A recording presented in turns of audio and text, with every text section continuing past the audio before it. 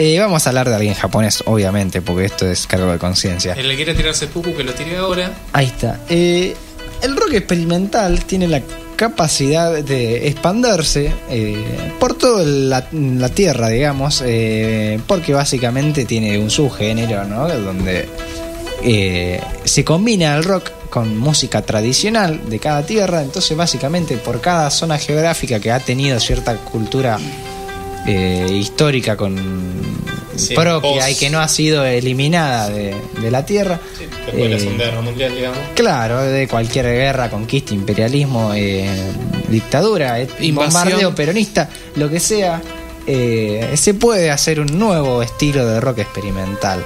Osamu Kitajima, multiinstrumentista japonés, graduado en la prestigiosa Universidad de Keio, eh, la conozco. yo, Kaioken. imagino. Claro, de Keioken, una de las más antiguas de Japón, asumo yo que por esto será prestigiosa, la verdad Onda que vital. es incomprobable que sea prestigiosa. ¿eh? Esto, Sí, esto porque puede no ser está súper mega capaz que la UNAG de, Pero. Tokio y no sabemos. Eh, pero es una de las más antiguas. Y ya con 30 años, en 1971, eh, nuestro querido Samu se muda a Gran Bretaña para nutrirse con la escena del rock anglosajón, que venía en el mejor momento de la historia, ahí en el 71, esos años. Interesante. El, el Jackie Chan de, del rock. No, Eh, Jackie Chan es chino. Bueno, Son todo lo mismo, es cuñado. todo lo mismo. Son todo lo mismo. Yo este asiático yo lo mismo. Eh, Miren, ojito chinito, no, no entendés. Son amarillos, Supongo que como pibe. admirador de No. cultura japonesa vos odias a los chinos, Son a los muy blancos. coreanos. Claro, hay Y que a los odiarlos a tailandeses. todos, hay que matarlos a todos. Eh, eh, los chinos tienen mar, ¿no?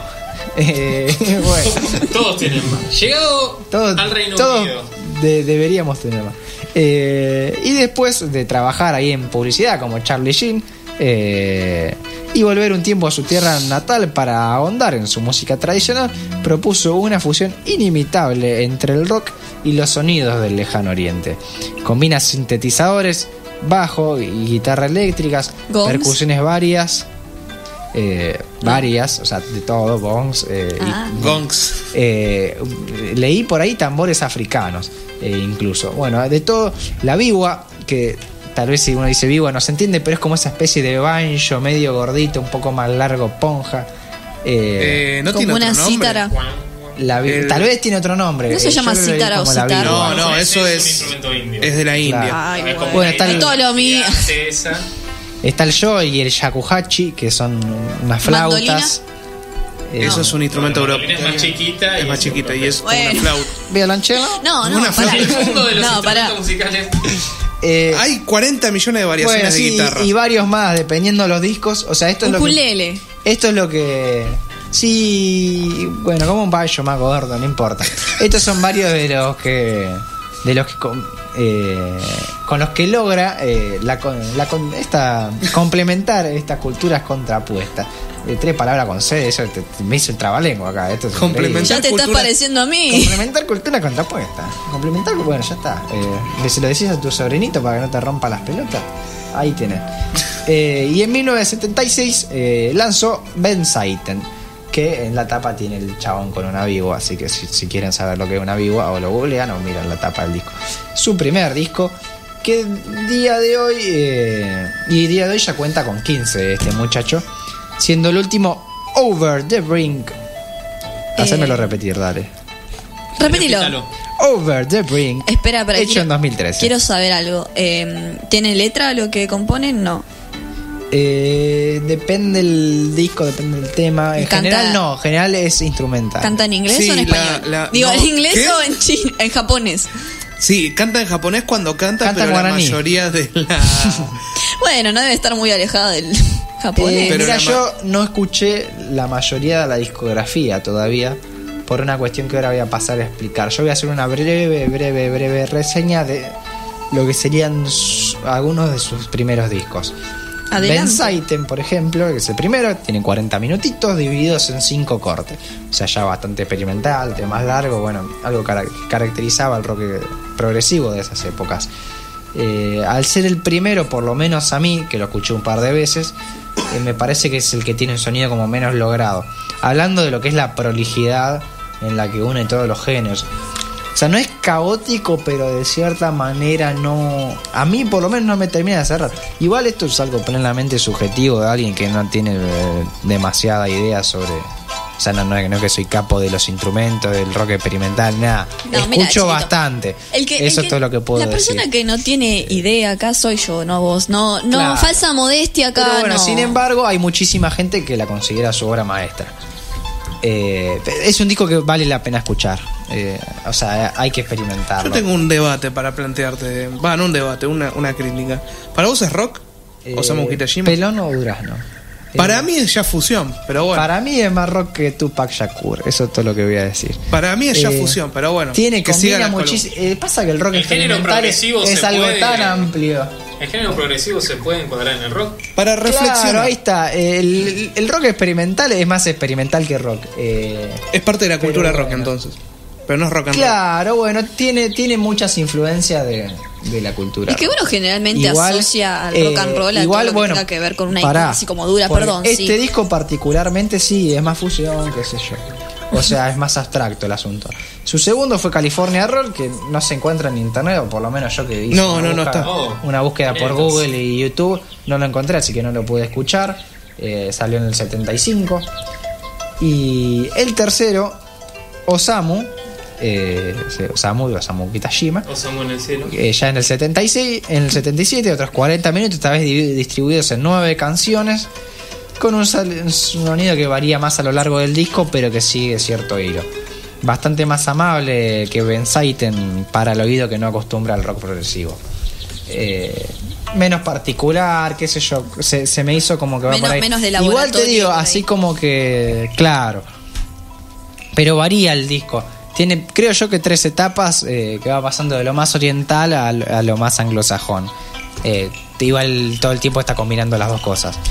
Eh, no me parece que, que, que sea fundamental este disco. Masterless Samurai, por otro lado, ya el cuarto, un año más tarde, en el 78.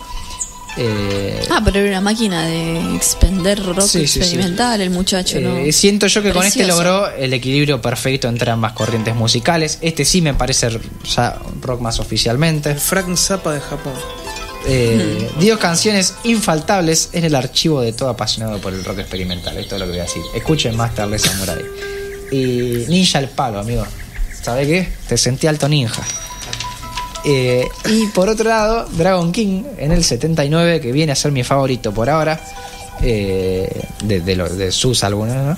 No tan complejo como los demás para la escucha, pero eh, a su manera hermoso. Nada, es imperdible, mucho no voy a hablar. Eh, Fue cuando tiene empezó a voces. experimentar con el cuarteto, ¿no? Sí, no, tiene un. Ahí, ahí tiene fue un- cuando conoció a la Mona Jiménez. Tiene un como- featuring con, el- con Hernán Coronel que no te puedo explicar lo que era. Era pibito igual en esa época todavía. Sí, fue, fue como cuando sí, sí, Bob estaba- Dylan conocieron a los Beatles. Bueno, lo pas- pasó lo mismo en Japón cuando se conocieron este Eh, tipo. Y, es más, tiene Mona. grabado un videoclip que después salió como parte de ese crossover de las Tortugas Ninjas y los Power Rangers. Mirá. Excelente, Qué tipo pelotudo. excelente. Esto es como cuando Al Pacino hizo una película con el gordo Porcel, que parece en joda, pero pasó en serio. Eh, qué mala película, por Dios. Eh, El gordo por ser ¿Cómo hablando en inglés, la puta. malísima. Carlitos, güey. Carlitos Way es una película excelente. Yo Seguí no sé hablando cómo de le- Osamu Kitashima Sí, te más cago a tiro. pochoclero y básico.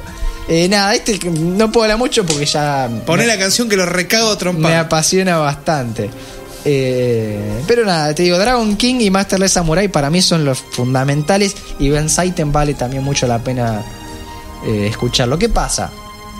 Siete años más tarde, ya eh, el muchacho se estuvo de jirafa. Viejo y choto. En el 86, ahí para festejar el triunfo de la Argentina en el Mundial, aparece con The Source.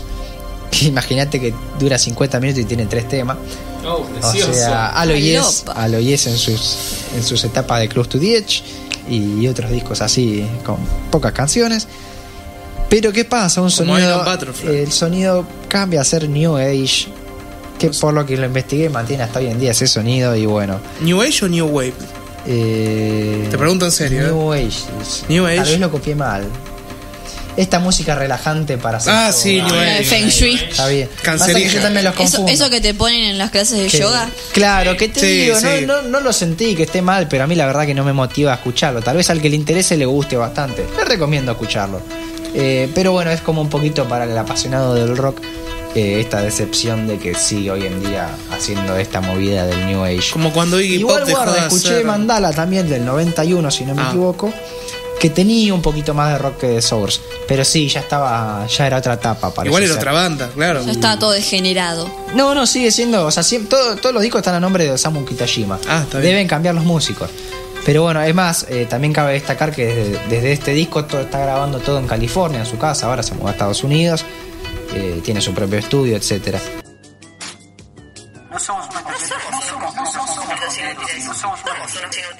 Somos unos completos inútiles. Al menos servimos de mal ejemplo.